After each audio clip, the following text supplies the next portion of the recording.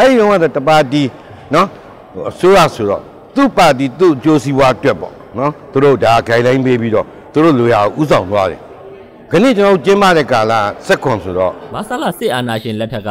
ကဘာအေးမှာလုပ်ခဲ့တဲ့ပထမဆုံးအကြိမ်စာပေညီလာခံပြီးတဲ့နောက်လက်ရှိမင်းဓမလန်က MCC ကားမမှာပြုလုပ်နေတဲ့စာပေညီလာခံဟာတမိုင်းတစ်လျှောက်မှာလွတ်လပ်တဲ့စာပေညီလာခံလည်းဖြစ်ပါတယ်။ဒီစာပေညီလာခံမှာ KSS ဖိနှိပ်ခံခဲ့ရတဲ့စာရေးဆရာ၊ကြပြဆရာတွေနဲ့စာပေသူတေတီတွေကမျက်မှောက်ခေတ်စာပေရေးရာတွေကိုလွတ်လွတ်လပ်လပ်ဆွေးနွေးခဲ့ကြပါတယ်။စာပေလောကသားတွေနှစ်ပေါင်း90လောက်ဒုက္ခခံနေခဲ့ရတဲ့ ဘုံပြဿနာတွေကိုညီလာခံနောက်ဆုံးနေ့မှာတင်သွင်းမဲ့အကြောင်းလဲပြောပြလာသူကကြပြဆရာမောင်သွေးတစ်ပါအကြောင်းအရာလဲဆိုအဓိကတော့စာပေလောကမှာခဏလက်ရှိဖြစ်ပြနေတဲ့ဘုံပြဿနာပေါ့နော်ဆိုကြပါစို့နော်ဟို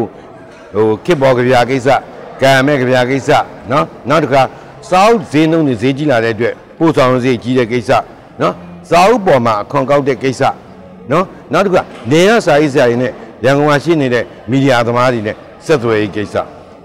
ရှင်းပြောရရင်နှစ်ပေါင်း90ကျော်ကြာပြီဖြစ်တဲ့စာပေလောကသားဒီအားလုံးပေါ့နော်ဒုက္ခဒုက္ခတွေခံနေရတဲ့ဘုံပြဿနာကိုကျွန်တော်တို့ကနေ့ကျင်းပတဲ့ညီလာခံကနေပြီးတော့နော်တယောက်နဲ့တယောက်ဆွေးနွေးပြီးတော့အဲ့ဒီဟာရတဲ့ဆွေးနွေးချက်အဖြေကိုညီလာခံနောက်ဆုံးရက်မှာတင်သွင်းပြီး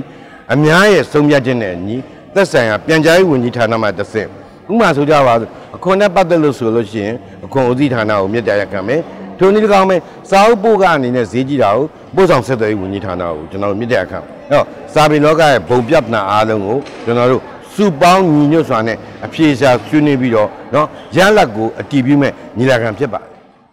ဒီအစီအစဉ်မှာခလေးစာပေခေတ်ပေါ်စာပေရေးရာတွေနဲ့ပြည်တွင်းပြည်ပစာအုပ်ထုတ်ဝေဖြန့်ချီရေးအခြေအနေတွေအပါအဝင်ခေါင်းစဉ်6ခုကိုအခန်း6ခန်းခွဲပြီးဆွေးနွေးခဲ့ကြတာပါ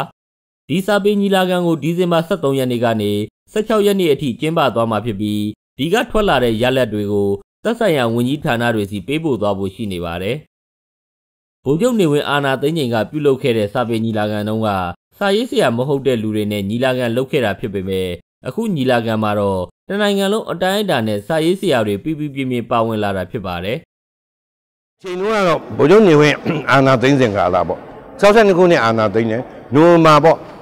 ဟိုနင်းပေါ့စက်ခွန်ကနေ21ရက်နေ့ဒီကဘာရင်းမှာကဘာရင်းညီလာခံဆိုပြီးလုပ်တယ်အဲ့ဒီတော့ကတပါတီ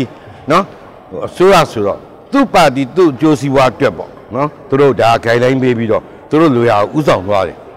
ခဏကျွန်တော်တို့ကျင်းပတဲ့ကာလစက်ခွန်ဆိုတော့တပီလုံးတိုင်းတာအနေနဲ့စာရေးဆရာကြီးပြည်ပြင်းပြင်းပါတဲ့ညီလာခံက62ခုနဲ့တုန်းကတော့တစ်ချိန်